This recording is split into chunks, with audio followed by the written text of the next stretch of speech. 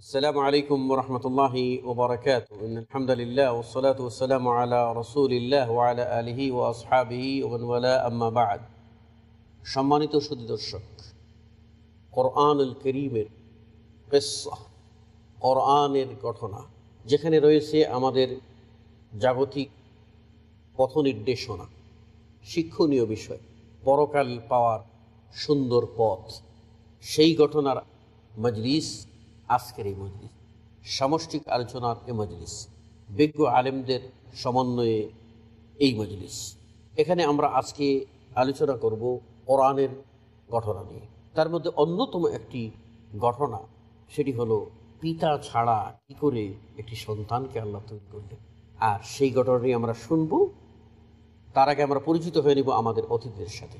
প্রথমে আমরা পরিচিত হব। আমার সর্ব ডানে বিশ্বাসের বিশিষ্ট আলমিন শেখ হাসান জমির আসসালামু আলাইকুম রহমতুল্লাহি এবং আমার ডানে উপস্থিত আছেন বিশিষ্ট আলমদিন শেখ আহমদুল্লাহ। আসসালামু আলাইকুম রহমতুল্লাহ এবং আমার বামে উপস্থিত আছেন বিশিষ্ট আলমদিন শেখ মুখলিস বিন আরশাদ। আসসালামু আলাইকুম রহমতুল্লাহ এবং আমার সর্বভাবে উপস্থিত বিশিষ্ট আলমদিন ইসলামী চিন্তাবিদ শেখ মুফতি কাদি মোহাম্মদ ইব্রাহিম।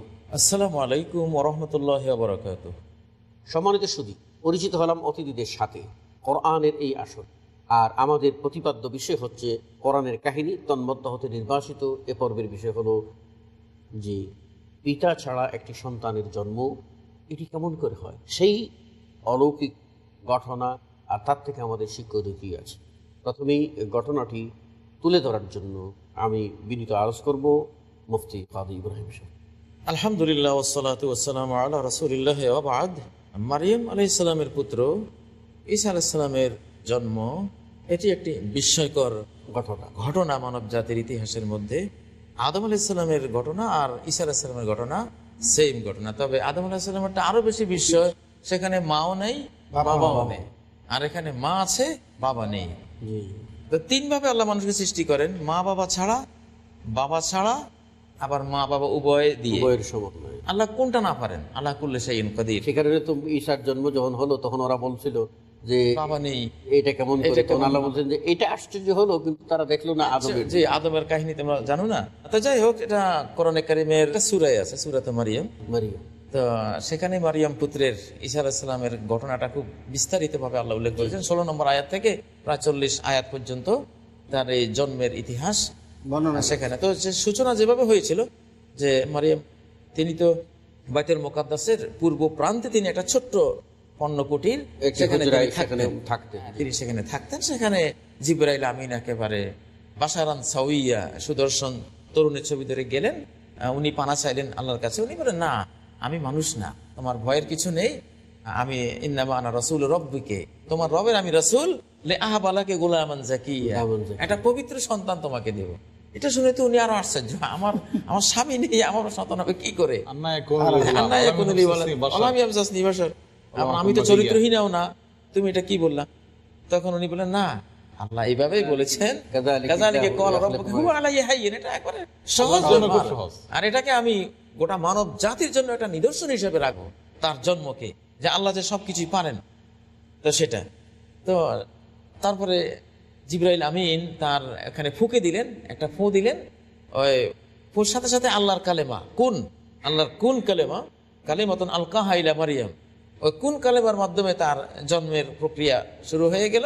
তিনি তার অস্তিত্বে ঈসা আলাহিসাল্লামকে ধারণ করলেন। তারপরে সাথে সাথে এখানে কোরআন এসেছে যে ফাজা আহল যে নাখলা, প্রসব বেদনা শুরু হয়ে গেল। এগুলো তো সব আল্লাহর মোজেজা। এখানে একজন নবীর মোজেজা। একজন নবী আসবেন যে নবী আসবেন এটা একটা এক ধরনের অলৌকিক ভাবে কিন্তু ঘটনাটা ঘটছে। তো প্রসব বেদনা শুরু হলো। তো তিনি তার ওই যে পণ্যকুটি ছেড়ে তিনি চলে গেলেন একটা টিলের মধ্যে। পাহাড় চূড়া চলে গেলেন সেখানে খেজুর গাছ আছে। তো খেজুর গাছের গোড়ায় তিনি বসে পড়লেন আর বললেন যে ইয়া আলাই তিনি মৃত্যু কাবলা হাজা যদি এর আগে মরে যেতাম ও কুন্তুনা সিয়ে মনসিয়ে আমার নাম নিশানা সব যদি মুছে যেত পৃথিবী থেকে কত ভালো হতো। তো ওনার যন্ত্রণা দেখে জিব্রাইল আমিন আসলেন। বললেন যে তুমি চিন্তা করো না। জালা রব্বুকে তাহা তাকে সারিয়া। তোমার তলদেশ দিয়ে কিন্তু একটা ঝর্ণা। এই মাত্র আল্লাহ। তারা সৃষ্টি করে দিলেন। তারপরে আবার খেজুর গাছে খেজুর ছিল না। এখন- হ্যাঁ, অমৌসুমে খেজুর ধরে গেল। তুমি চিন্তা করো না। এখানে খেজুরের প্রসঙ্গ যে আসছে আগে থেকে তো এখানে আধুনিক বিজ্ঞানও বলছে যে প্রসূতি মায়েদের জন্য সবচেয়ে যে ফলটা উপকারী খাদ্য। উপকারী সেটা হলো খেজুর। কারণ আয়রনে ভরা। এইসব মুহূর্তে তো আয়রন চলে যায় শরীর থেকে। ব্লাডের মাধ্যমে। তো সেই জন্য আয়রনটা খুব জরুরি। তো যাই হোক তো ওনাকে এটা বললেন। তো আল্লাহ ওনাকে বলে দিয়েছেন তুমি কিন্তু কোনো কথা বলবা না আজকে। কারণ ইহুদিরা আসবে খ্রিস্টানরা আসবে তোমাকে যন্ত্রণা দেবে। উল্টাপাল্টা। তখন তো ছিল ইহুদি জাতি। উল্লেপাল্টা কথা বলবে। তো উনি একটা মানত করেছেন ইন্নি নাজারতুলি রহমানের সওমান ফালান উকাল্লিম আলিয়ামা ইনসিয়া। আমি আজকে রহমানের জন্য মানত করলাম একটা রোজা। আছে কোনো কথা নাই। আগের যুগে এটা একটা রোজা ছিল। কথা রোজা। কথা না বলা কথা না বলা রোজা। আছে আচ্ছা, কথা বলব না। বাধা দেয়। জি। হ্যাঁ হ্যাঁ এটা এখনও আছে। জি এখন আছে। কিছুটা এখনও আছে। তো যাই হোক তিনি এটা করলেন। ঘটনাটা আমরা তখন তো চতুর্দিক থেকে ইহুদিরা আসলো। কি ব্যাপার? জন্ম হয়ে গেল। শিশু ইসার ওরা আসলো। কি ব্যাপার? তুমি সন্তান কই পেয়েছ? কি হয়েছে না হয়েছে? একেবারে অন্যরকম অবস্থা। উনি আশা রাতিলেই যে ওই বাবুর কাছে জিজ্ঞাসা করো। বাবু বলবে ওর বাপ ওর বাবাকে। বাবু তো ওরা বলল কি বলো? কাইবা নুকাল্লিমু মান কানা ফিল মাহাদি সাবিয়া। মাত্র দোলনা শিশু ওর সাথে কেমনে কথা বলো তুমি কি বলছো? আর দেরি নাই শিশু তো ওয়াজ শুরু করে দিয়েছে কলা ইন্নি আব্দুল্লাহ। উনি একদিনের বাচ্চা বলতেছে আমি তো আল্লাহর গোলাম। আতানি কিতাব ওয়াজালানি নবী আল্লাহ আমাকে কিতাবও দিয়েছেন নবীও বানিয়েছেন। ওয়াজালানি মুবারাকান আইনামা কুনতি। আমি যেখানে থাকি সেখানে বরকত দুনিয়ার বরকত দিনের বরকত। তারপর আসসালামু আলাইয়া ইয়াউমা উলিদতু ওয়া ইয়াউমা আমুত। আমি আমার মায়ের জন্য জাব্বার না। মানে মায়ের আদেশ লঙ্ঘনকারী না। সাকি না আমি হতভাগা না। আমি মায়ের অত্যন্ত অনুগত সন্তান। যা যা বলা লাগে একেবারে সব উনি ওয়াজ নসিহত করে দিলেন সুবহানাল্লাহ। এই হলো তো, ঈসা। এই হলো ওনার ধন্যবাদ আপনাকে চমৎকার ঘটনা উত্থাপনের জন্য। আমরা এখান থেকে শিক্ষণীয় বিষয়গুলি নিয়ে আলোচনা করব। প্রথমে শেখ হাসান যাবেন শুরু থেকে একটু কথা বলতে চাচ্ছি। সেটা হচ্ছে শেখ বলেছেন যে মানুষ সৃষ্টির যে আল্লাহ তালার যে সিস্টেম যে নিজাম সেই নিজামের বাহিরে একটু রব্বুল আলমিন দেখিয়েছেন আলামত হিসাবে। আল্লাহ তালার এই আলামতের একটা সুযোগ নিচ্ছেন আজকের দুনিয়ার খ্রিস্টান সমাজ। তারা বলছেন যেটা আল্লাহর পুত্র হজরত মারিয়াম আলহ সাল্লাতামকে আল্লাহর বিবি হিসাবে তারা মনে করছেন নওয়াজুল্লাহ জালিক কোরআনের এই বচন ভঙ্গি এর থেকে আমরা অনেক কিছু শিখতে পারি যে কোরআনে করিমে রব্বুল আলমিন কোথাও কোনো মহিলার নাম উচ্চারণ করেননি। যেমন মারিয়াম আলি সাল্লাতামের মায়ের সম্পর্কেও বলছেন ইকালাত ইমরাত ইমরান। মরিয়াম আলি সাল্লামের মায়ের নামও বয়স্ক মহিলা তার নামও আল্লাহ উচ্চারণ করেননি। আল্লাহ বলছেন ইমরাত ইমরান ইমরানের স্ত্রী। অথচ মারিয়াম আলি সাল্লাতামের নামটা শুধু বারবার উচ্চারণ করেননি একটা সুরার নামকরণও করেছেন মারিয়াম আলি সাল্লামের নাম দিয়ে। নামে। কারণ এটা এজন্য বলা যে সমাজের মানুষ ভদ্র শ্রেণির যারা আত্মসম্মান বোধ যাদের আছে ব্যক্তিত্ব যাদের আছে তারা কখনো মানুষের সামনে নিজের বিবির নাম বলে বেড়ায় না। রব্বুল আলমিন এখানে মারিয়াম সাল্লাতামের নামের পর্দা আছে। হ্যাঁ নামের মধ্যেও পর্দা আছে। নারীদের পোশাকের মধ্যে পর্দা নামের মধ্যে পর্দা, কথার মধ্যে আওয়াজের মধ্যে পর্দা সবকিছুর মধ্যেই পর্দা। রব্বুল আলমিন কিন্তু এখানে এই বিষয়টাই বলতে চাচ্ছেন যে দেখো কোরআনে কারিমে আমি একটা জায়গায়ও কোনো নারীর নাম উচ্চারণ করি নাই যেটা পর্দার কারণে অসম্মানের জন্য নয়। কিন্তু এই মারিয়াম আলাইসাল্লাম একমাত্র ব্যক্তি যার নামটা রব্বুল আলমিন বারবার উচ্চারণ করে বলছেন যে তার সাথে আমার ওই তোমরা যেটা ভাবছ বৈবাহিক সম্পর্ক এটা একদম মিথ্যা। তাহলে নওয়াজ তাহলে আমি না। উনি হ্যাঁ, মারিয়ামের পুত্র বারবার বারবার জি। এই হলো একটা বিষয়। আরেকটা বিষয় আল্লাহ যেটা পাক সাহেব স্পষ্ট বলতে চাচ্ছি সেটা হচ্ছে যে হজরতে ঈসা আলী সাল্লাতাম কি বললেন? ইন্নি আব্দুল্লাহ আতানি কিতাব ও জালানি নবিয়া ও জালানি মুবারাকান আইনামা কুন্তু। এতটুকু আমি বাদ দিলাম এতটুকু নিয়ে আমার কথা নাই। ও আউসানি বিসলাতি ও জাকাতি মা দুমতু হাইয়া।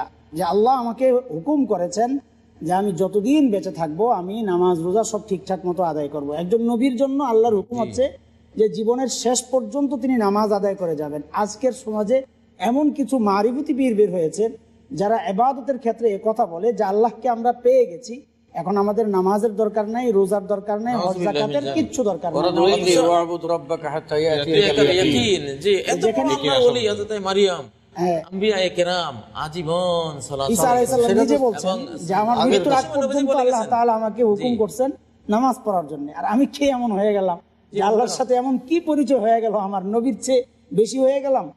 এটা একটা ভণ্ডামি ছাড়া কিছু না।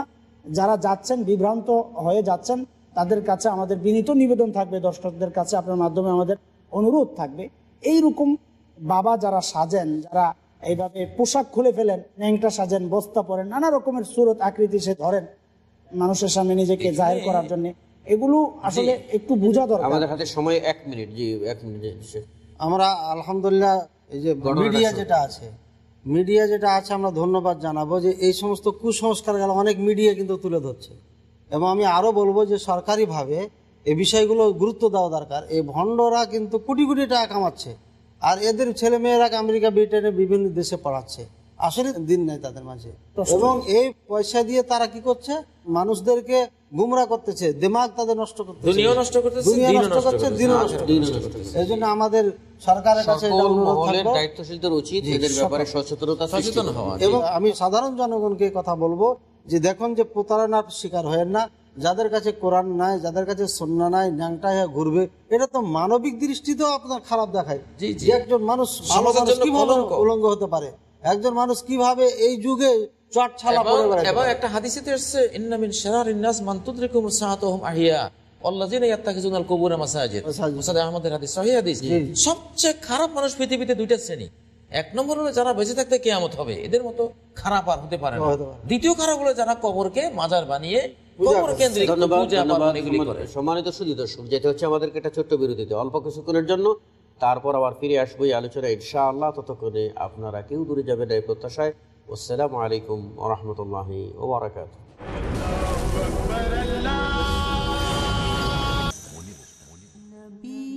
আনাস রাদিয়াল্লাহু আনহু থেকে বর্ণিত রসুল্লাহ সাল্লাহ সাল্লাম বলেছেন, বিপদ নেমে আসার কারণে তোমাদের কেউ যেন মৃত্যু কামনা না করে।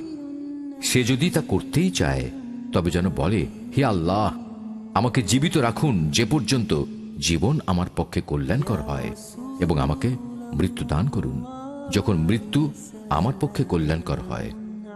সহি বুখারি, সপ্তম খণ্ড, অসুস্থতা অধ্যায়, হাদিস সংখ্যা পাঁচ হাজার ছশো একাত্তর।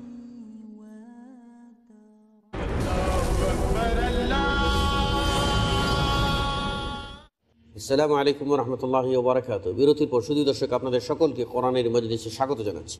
বলছিলাম যে ঈসা আলী ইসলাম এর আবির্ভাব। আল্লাহ রবুল্লা আলমিন জ্বলন্ত সাক্ষী দেখিয়ে দিলেন। তিনি ফাআলুল্লিমা ইউরিদ, যা চান তাই করতে পারেন। ইদা আরাত হুকুন ফায়াকুন।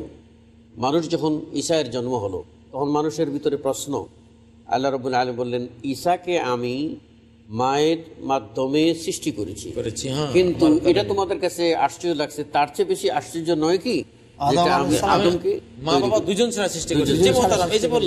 এখানে সালামের এই প্রক্রিয়ার জন্মের মধ্যে একটা বিরাট মৌলিক দৃষ্টিভঙ্গি এখানে আল্লাহ দিয়েছেন। একটা মৌলিক জিনিস আমাদেরকে শিক্ষা দিতে চেয়েছেন সেটা হলো এই পৃথিবী যদিও আসবাবে চলে উপায় উপকরণের পৃথিবী তাই না? গাছ হলে ফল হবে আমরা খাব। কৃষি হলে ফসল হবে আমরা খাব। আসবাব। কিন্তু কেউ এই আসবাবগুলো এই উপকরণ নিয়ে চলতে চলতে চলতে মানুষের একটা বিশ্বাস এসে যেতে পারে যে এগুলি সব এরাই দেয়। এই জমিনে দেয় গাছেই ফল দেয় মেঘে বৃষ্টি দেয়। হতে পারে না। হ্যাঁ এগুলি আসলে এইভাবে সবকিছু চলে। যেমন একদল লোক তারা দাহারিয়া বা বস্তুবাদী এমন হয়ে গেছে প্রকৃতিবাদী। সবকিছু এখন কিন্তু প্রকৃতিবাদী নেচারাল এখানে আল্লাহর কোনো স্থান নাই আল্লাহ দেয় না সব নেচার থেকে হয় এরাই নাস্তিক হয়। আল্লাহ তালা ঘটনা ঘটিয়ে বারবার বুঝিয়ে দিচ্ছেন বিশেষ করে এই ঘটনা যে দেখো মা বাপ দিয়ে জন্ম হচ্ছে আমার দেয়া সিস্টেম এটা আমার তোমরা দেয়া যেটা সিস্টেম বিশ্বাস করতেছো এটাই প্রকৃতি। জি এটা যে এখন তোমরা যদি বিভ্রান্ত হচ্ছে যে এখানে মা বাবাই হলো ষষ্ঠা মা বাপ থেকে হয় আল্লাহর এখানে কোনো ক্রিয়া নাই। আল্লাহ আমি সবকিছু করি। দেখো বাপ ছাড়া সৃষ্টি করে দিলাম। দেখো মা বাপ দুইজন ছাড়াই সৃষ্টি করে দিলাম। এগুলি সব আমারই প্রক্রিয়া আমারই কুদরত। তোমরা দৃষ্টিভঙ্গিতে সবসময় আমার মুখী থেকো। এটা খুব মজার একটা কথা আছে। যে সমস্ত লোকেরা আজকে আল্লাহর এই সিস্টেমটাকে আল্লাহরই সিস্টেম ভুলে গিয়ে নিজেরা প্রকৃতির দোহাই দিচ্ছেন। তাদের জন্য ঈসা ইসলামের জন্ম একটা একটা অনেক বড় কঠিন কঠিন জবাব। চ্যালেঞ্জ তাদের যেটা তোমরা দেখে নাও যে এই প্রকৃতির এই সিস্টেমটা আল্লাহই চালু করেছেন অথচ তোমরা সেটা ভুলে গেছো। দেখো এর ব্যতিক্রম করেও আল্লাহ দেখাতে পারেন। হ্যাঁ, বাস্তব ঈসা আলী প্রকৃতির কথা যেহেতু এখানে আসে, আমরা আরও ভালো জিনিস একটা পাচ্ছি যে শব্দটি আপনি ব্যবহার করেছেন, মহিলা হয়ে। মহিলা হয়ে আল্লাহ পাক রব্বুল আলমিন তাকে আপনার আসমান থেকে আল্লাহ রেজেক দিচ্ছেন। জি জি। এবং সন্তান জন্ম সময় আবার গাছকে তরুতাজা করে এখন ফলও দিচ্ছেন আমরা অনেক নারীরা আজকে বিচলিত হয়ে ক্ষুধার কারণে জীবন দিয়ে দিচ্ছে আত্মহত্যা করছে। সন্তানকে বিক্রি করে দিচ্ছে, তাদেরকে বলব ইজ্জত বিক্রি করে দিচ্ছে অনেক কিছু করছে। আমি তাদেরকে বলব যে এই মারিয়াম আলাইহিস সালাম ধন্যবাদ আপনাকে এখন জি ধন্যবাদ। যেটা বলছিলাম প্রকৃতির বিষয়টি খোলাসা করা দরকার। প্রকৃতি। এটা তো বাস্তব একটি শব্দ ফিতরাত। কিন্তু প্রকৃতি শব্দের ব্যবহার এখন যেভাবে হচ্ছে হচ্ছে, হ্যাঁ। এটি অত্যন্ত স্পষ্ট করে আমাদের দর্শকদেরকে জানানো দরকার যে কোনো অলৌকিক কোনো কিছু দেখলে ভালো কোনো কিছু দেখলে একজন মুমিন সর্বপ্রথম আল্লাহকে স্মরণ করবে সৃষ্টিকর্তাকে স্মরণ করবে। হ্যাঁ, যেমন একটি সুন্দর দৃশ্য আমি দেখলাম বললাম প্রকৃতির কি অপরূপ লীলা? এভাবে না বলে একজন ইমানদার বলবে আল্লাহ সুবহানাহু ওয়া তাআলার কি অপরূপ সৃষ্টি? হ্যাঁ, এই। জি, এই বিষয়টি অত্যন্ত গুরুত্বপূর্ণ এই জন্য যে আমরা বিভিন্ন ভাবে দেখতে পাই। এখন শেখ আপনার কথাটা ওরা বলবে না কারণ ওরা নাস্তিক। ওরা প্রকৃতি না, না না শেখ আমি বলছি ওরা প্রকৃতি পূজারী সেজন্যই তারা বলবে যে প্রকৃতির লীলা। আমি আপনার করি নাস্তিক নয় যারা বলছেন এদের বেশিরভাগ লোক নিজেকে মুসলিম দাবি করেন সালাদ সিয়াম করেন কিন্তু আল্লাহর নাম বলতে অভ্যস্ত নন। ওই নাস্তিকদের প্রপাগান্ডার কারণে তারাও আল্লাহর নাম ভুলে গেছেন। বলতে গেলে প্রকৃতির কথাটাই বলেন আল্লাহর কথা তারা ভুলে যাচ্ছেন। আমি ওইটা ইঙ্গিত করতে চাচ্ছি। আমি বলছি যে একদল যারা আপনার সৈয়ই যারা দাহরিন এদের বক্তব্যের কথা বলছি যে তারা এটা তো বলবেই যেহেতু তারা আল্লাহকে স্বীকার করে না তারা প্রকৃতির জোরে- গায়ের জোরে বলে। আর আপনার দৃষ্টিভঙ্গিটা হচ্ছে এটা যে সাধারণ মুসলিম মানুষ, জি। ওদের দ্বারা প্রভাবিত হয়ে যেন এরকম না বলে। জি। এই ঘটনা থেকে আরেকটি শিক্ষণীয় বিষয় আছে সেটা হলো যে আল্লাহ তালা কীভাবে পুনরুত্থান করবেন? এর একটা অপরূপ শিক্ষা এখানে রয়ে গেছে নজির রয়ে গেছে যে আল্লাহ তাআলা বাবা মা ছাড়া সৃষ্টি করতে পারেন বাবা ছাড়া সৃষ্টি করতে পারেন সবই পারেন। অর্থাৎ আদম থেকে উজুদে অস্তিত্বহীনতা থেকে যিনি অস্তিত্ব আনতে পারেন কোনো মাধ্যম ছাড়া সে আল্লাহকে আমাদের ময়দানে আবার মানুষকে পুনরায় উত্থিত করবেন এবং এটা অত্যন্ত স্বাভাবিক। আরেকটা বিষয় এখানে বিষয়টা ওই প্রকৃতির ব্যাপার যেহেতু আসছে জন্য বলছি যে আজকে ওই প্রকৃতি যে সবকিছু আল্লাহরই হুকুম এটা আমরা ভুলে গিয়ে আমরা এখন কখনো কোন দুর্যোগ যখন দেখছি তখন আমরা বলি প্রাকৃতিক দুর্যোগ মোকাবেলায় আমাদের এই করণীয়। প্রাকৃতিক দুর্যোগকে মোকাবেলা করার জন্য মানুষের সামর্থ্য সাধ্য আছে নাকি। শব্দটা এই ক্ষেত্রে আরও একটা ভুল প্রোগ্রামে আমরা বলেছি যারা এই ধরনের দায়িত্বে আছেন তারা বলবেন যে দুর্যোগ ব্যবস্থাপনা। আমরা দুর্যোগ যদি এসে যায় আল্লাহর পক্ষ থেকে তাহলে আমরা সেক্ষেত্রে কি কি ব্যবস্থাপনা নিতে পারি ভূমিকা নিতে পারি? সেটা। যে উদ্ধারের জন্য আমরা ব্যবস্থা নেব। উদ্ধার তৎপরতা বা ব্যবস্থাপনা দুর্যোগ থেকে বাঁচার জন্য আল্লাহর দিকে ফিরে আসতে মোকাবেলার কথাটা যেমন বলা যাবে না সেখানে আরেকটি কথা আমার বলতে হয় যে কোন ঝড় ঝঞ্ঝা এরকম কিছু হলে আল্লাহর গজব বলে গড়ে চালিয়েও দেওয়া যাবে না। এগুলো আল্লাহর সমস্ত পরীক্ষা দিতে পারেন। আমি একটা- জিনিস নাও হতে পারে। যেটা হলো মজার কথা। জন্ম হয়ে গেল। জি। ঈসা ইসলামের জন্ম হয়ে গেল। মা লজ্জায় জড়সড় তাই না? আল্লাহ রবুল আলমিন সেখানে বললেন তুমি কথা বলো না এই সন্তানই কথা বলবে। আচ্ছা ওরা যখন আসলো এই যারা কটুক্তি করে থাকে যাদের কাজই হলো কটুক্তি ওরা যখন আসলো তখন তারা কি বলছিল ইয়া উখতা হারুন। মানে তারা বলতে চাইলো যে ভালো মানে- ঘরের মেয়ে। ভালো ঘরের সন্তান। তারা বলতে চাইলো যে তোমার বাবা তো এই কাম করেন নাই কোনোদিন তোমার মাও এইরকম কোন রকম সন্তান। জি আর তোমার করে এটা কেমন করে আসলো? মজার কথা আমি শেখের কাছে যাব। সেটা হলো কেমন করে বললেন ইয়া অখত হারুন কারণ মরিমের তো কোনো ভাই ছিল না। বোঝা- বোঝার একটা পয়েন্ট জানা দরকার আছে জি। মারিয়ামের ইয়া উক্তা হারুন আসলে ওই সমাজের যারা নিকটাত্মীয় জি। যেমন ইয়া উক্তা বনি ফেরাজ আরবদের একটা নিয়ম আছে গোত্রের মেয়ে বলবে যে অমুক অমুক অমুকের। অমুকের বোন ইয়া উক্তা হারুন ইয়া আকা বনি ফুলান। আরবদের নিয়ম হলো গোত্রের সবাইকে অমুকের ভাই অমুকের বোন মহিলাদেরকে অমুকের বোন এভাবে বলা হয়। এখানে খ্রিস্টানরা একটা চালবাজি করেছিল একবার মোহাম্মদ সাল্লাহ নবীজির আমলেই। দেখো দেখো দেখো। কোথায় মারিয়াম আর কোথায় মুসা হারুন আলাইসাল্লাম ওনারা কত আগের হাজার হাজার বছর আগের? দেখো কোরআন মিথ্যা কোরআন এখানে মারিয়ামকে হারুনকে হারুনের বোন বলছে। হারুন আলাইসাল্লাম তো হাজার বছর আগে উনার মৃত্যু হয়ে গেছে। দেখো কোরআন মিথ্যা। তখন যে সাহাবিরে বলছে নবীজি ভাই তুমি বলল না কেন যে মুসলিমরা আম্বিয়াদের নামে নাম রাখে? এই হারুন তো ওই হারুনের নামে হাজার বছর পরে এক মুসলিম। তার নামও নবীর নামে রাখা হয়েছিল। এটা ওই হারুন এটা তো হাজার বছর আগে সে হারুনের কথা বলা হয়নি। নবীজি নিজে শিক্ষা দিয়েছেন। তো এখানে মরিয়ামের এটা কোনো নসবি ভাই না মানে পিতার ঘরের সহদর ভাই না। আদর্শিক ভাই। আদর্শিক ভাই বা এটা গোত্রীয় ভাই আর কি। দিনী ভাই বা গোত্রীয় ভাই। তাছাড়া এমনও হতে পারে যে ওই গোত্রের যে ভাইয়ের প্রতি সম্বোধন করা হচ্ছে জি। সে ভাইটিও সৎ মানুষ ছিল। সৎ মানুষ তাই ওই দৃষ্টিকোণ থেকে তুমি সেই হ্যাঁ, তুমি তো ভালো মানুষের ভালো মানুষের আদর্শের- এটাই বলছি, ভালো আদর্শের মানুষের বোন।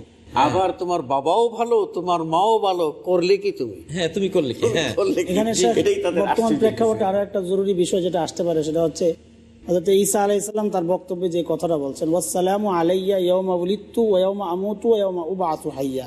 এই একটা পয়েন্টে আমি কথা বলতে চাচ্ছি সেটা হচ্ছে ইয়াউমা উলিদতু আমার জন্মদিনে আল্লাহর রহমত আমার উপর নাজিল হোক। আজকে যারা খ্রিস্টানরা হয়তো আলাইসাল্লামকে নবী বলে দাবি করছেন তাদের নবী। আমরাও বলি আলাইসাল্লাম নবী। আমরাই স্বীকার করি। এবং তাকে সর্বোচ্চ সম্মান যা দেওয়ার মুসলমানরাই দেয় আলহামদুলিল্লাহ। তাদের উদ্দেশ্যে বলব যে আপনাদের যে নবী তার জন্মদিনে আল্লাহর রহমত নাজিল হওয়ার জন্য দোয়া করেছেন। আজকে সেই নবীর জন্মদিনকে কেন্দ্র করে পঁচিশে ডিসেম্বর আপনারা যা করছেন এটা নবীর উপর তো রহমত নাজিল হবেই। কিন্তু আপনাদের উপর আল্লাহর গজব ছাড়া অন্য কিছু নাজিল হবে না। অপকর্ম তারা তো নবীর আদর্শে নাই নবীর আদর্শ আল্লাহ বানিয়েছেন পুরো নবীকে আল্লাহ বানিয়ে আল্লাহর পুত্র বানিয়ে তৃতীয়বাদী হয়ে করলেও কিছু কোন এদের আসবে সর্বনাশ না করছে তারা। আসলে এবং পুরো তারা এই নবীর দোয়ার পরিবর্তন আসলে অবস্থান। নবীর দোয়ার বিরুদ্ধেই আসলে তাদের অবস্থান। জি, জি, তাদের বিশ্বাসও তাদের বিরুদ্ধে তো তো এখানে- ধর্মকে সম্পূর্ণ পরিবর্তন করে ঈসা আলাহিসাল্লামের ব্যাপার যেহেতু এখানে এসছে ঈসা আলাহিসাল্লাম সম্বন্ধে নবী ঈসা বলেছেন সহি বুখার একটি সহি হাদিস। আনা আউলান বে ঈসা মারিয়াম লাইসা বাইনি ওবাইনাহু নাবিয়্যুন মানব জাতির মধ্যে ঈসা আলাহিসাল্লামের সবচেয়ে কাছের মানুষ হলাম আমি। আমার মধ্যে আর ঈসা আলাহিসাল্লামের মধ্যে কোনো নবী নাই। আবার তিনি এই উম্মতের মধ্যে শেষ ভাগে তিনি আসবেন। তিনি হাকেম মুকসেদ ন্যায়পরায়ণ শাসক হয়ে তিনি আসবেন পঁয়তাল্লিশ থেকে পঞ্চাশ বছর। কোরআন শূন্য দিয়ে গোটা বিশ্বকে তিনি শাসন করবেন। ইউসেক ফিকুম ইবনু মারিয়ামা হাকামান মুকসেতা ফায়াকতুল খিনজির ওয়াদাউল জাজিয়া। জি ওয়াফিদ আল মাল হাত্তা লা ধন্যবাদ আপনাকে। চমৎকার কথাগুলি বলছিলেন। সবচেয়ে বড় কথা হচ্ছে শেখ সন্তান এবং বান্দা এই দুইটা ভিন্ন জিনিস। জি। যিনি বান্দা হবেন তিনি গোলাম হতে পারেন না। আমাদের মাসালাও এমন আছে যে কেউ যদি তার গোলামকে যদি সন্তান বানিয়ে এনে আজাদ হয়ে যাবে গোলাম থাকবে না। গোলাম এক জিনিস সন্তান বান্দা হতে পারে বান্দা হইতে পারে শুধু না। এটা নয়। যেখানে ঈসা আলাইসাল্লাম নিজে বলছেন আব্দুল্লাহ। ইনি আব্দুল্লাহ। সেখানে তাকে সন্তান সাব্যস্ত করা মানে ঈসা আলাইসাল্লামকেই অস্বীকার করা। ঈসা আলাইসাল্লাম বলছেন আমি আল্লাহর বান্দা। আর তারা বলছেন আল্লাহর বেটা। তাহলে ঈসা আলাইসাল্লামের কথাকে অস্বীকার করা। নিজেদেরকে আসলে তারা ঈসাইও দাবি করতে পারে না। এই জন্য আমাদের নবী মোহাম্মদ সাল্লাম বলছেন যে সাবধান মরিয়মের পুত্র ঈশাকে নিয়ে ওরা যেরকম বাড়াবাড়ি করেছে